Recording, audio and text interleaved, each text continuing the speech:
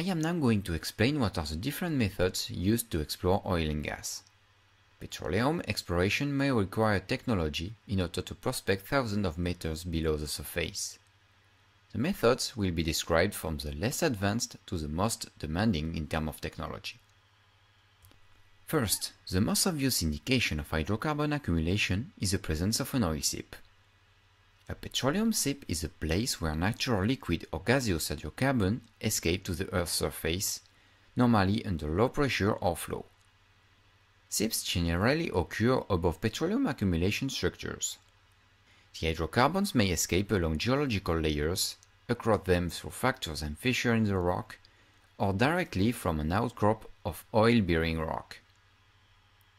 Petroleum seeps are quite common in many areas of the world and have been exploited by humans since Paleolithic times. In locations where seeps of natural gas are sufficiently large, natural eternal flames often persist. Then outcrop studies can be made. An outcrop or rocky outcrop is a visible exposure of a bedrock or ancient superficial deposit on the Earth's surface.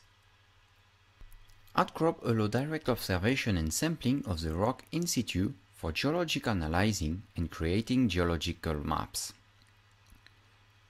In situ measurements are critical for proper analysis of geological history and outcrops are extremely important for the understanding of the geology of the area.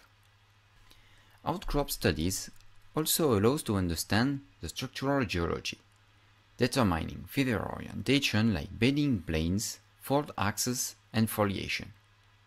It also helps to have a better understanding of the sedimentology, so to understand the depositional environments, the orientation of paleocurrent direction, the grading, and the facies changes.